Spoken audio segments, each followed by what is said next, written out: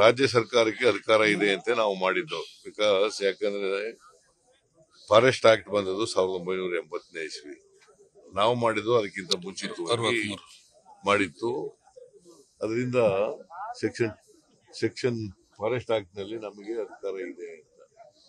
ಆದ್ರೆ section two ಪ್ರಕಾರ central government ಇದನ್ನ ಪಡ್ಕೋಬೇಕು ಅಪ್ರೂವಲ್ ತಗೋಬೇಕು ಕೇಂದ್ರ ಸರ್ಕಾರದ ಇಫ್ ಸೋ ಆ ತರದ್ ಮಾಡ್ಬೇಕು ಅನ್ನೋದಾದ್ರೆ, ನಿಮ್ದೇ ಕೇಂದ್ರ ಸರ್ಕಾರ ಇದೆಯಲ್ಲಪ್ಪ ಮಾಡಿ. ಡಬಲ್ ಇಂಜಿನ್ ಸರ್ಕಾರ ಅಲ್ವಾ ನಿಮ್ದು? ಅಲ್ಲೂ ನಿಮ್ದೆ, ಇಲ್ಲೂ ನಿಮ್ದೆ. ಮಾಡಿ?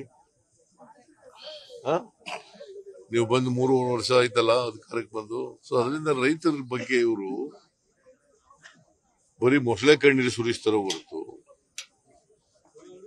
ರೈತರ ಸಮಸ್ಯೆಗಳನ್ನ ಬಗೆಹರಿಸ್ತಕ್ಕಂಥ ಪ್ರಾಮಾಣಿಕ ಪ್ರಯತ್ನವನ್ನ ಮಾಡಿಲ್ಲ. ಆಮೇಲೆ ಕೋರ್ಟ್ ಆದೇಶ ಆದ್ಮೇಲೆ ಏನ್ ಮಾಡ್ಬಿಟ್ಟಿದ್ದಾರೆ?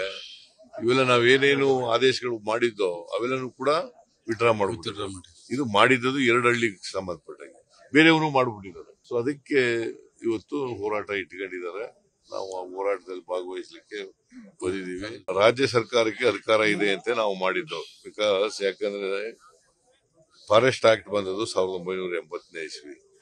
ನಾವು ಮಾಡಿದ್ದು ಅದಕ್ಕಿಂತ ಮುಂಚಿತವಾಗಿ ಮಾಡಿತ್ತು. ಅದರಿಂದ ಸೆಕ್ಷನ್ ಸೆಕ್ಷನ್ ಫಾರೆಸ್ಟ್ ಆಕ್ಟ್ನಲ್ಲಿ ನಮಗೆ ಅಧಿಕಾರ ಇದೆ ಅಂತ.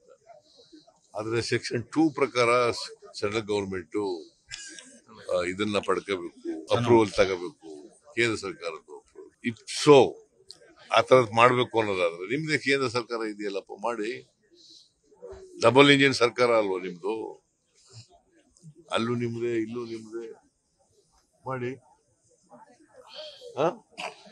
ನೀವು ಬಂದು ಮೂರು ವರ್ಷ ಆಯ್ತಲ್ಲ ಅಧಿಕಾರಕ್ಕೆ ಬಂದು. ಸೊ ಅದರಿಂದ ರೈತರ ಬಗ್ಗೆ ಇವರು ಬರೀ ಮೊಸಳೆ ಕಣ್ಣೀರು ಸುರಿಸ್ತಾರೋ ಹೊರತು ರೈತರ ಸಮಸ್ಯೆಗಳನ್ನ ಬಗೆಹರಿಸ್ತಕ್ಕಂಥ ಪ್ರಾಮಾಣಿಕ ಪ್ರಯತ್ನವನ್ನ ಇವರು ಮಾಡಿಲ್ಲ. ಆಮೇಲೆ ಕೋರ್ಟ್ ಆದೇಶ ಆದ್ಮೇಲೆ ಏನ್ ಮಾಡ್ಬಿಟ್ಟಿದ್ದಾರೆ? ಇವೆಲ್ಲ ನಾವೇನೇನು ಆದೇಶಗಳು ಮಾಡಿದ್ದೋ ಅವೆಲ್ಲನೂ ಕೂಡ ವಿಡ್ರಾ ಮಾಡ್ಬಿಟ್ಟು ಇದು ಮಾಡಿದ್ದು ಎರಡು ಹಳ್ಳಿಗೆ ಸಂಬಂಧಪಟ್ಟಂಗೆ ಬೇರೆಯವರು ಮಾಡ್ಬಿಟ್ಟಿದ್ದಾರೆ. ಸೊ ಅದಕ್ಕೆ ಇವತ್ತು ಹೋರಾಟ ಇಟ್ಕೊಂಡಿದ್ದಾರೆ. ನಾವು ಆ ಹೋರಾಟದಲ್ಲಿ ಭಾಗವಹಿಸಲಿಕ್ಕೆ ಬಂದಿದ್ದೀವಿ.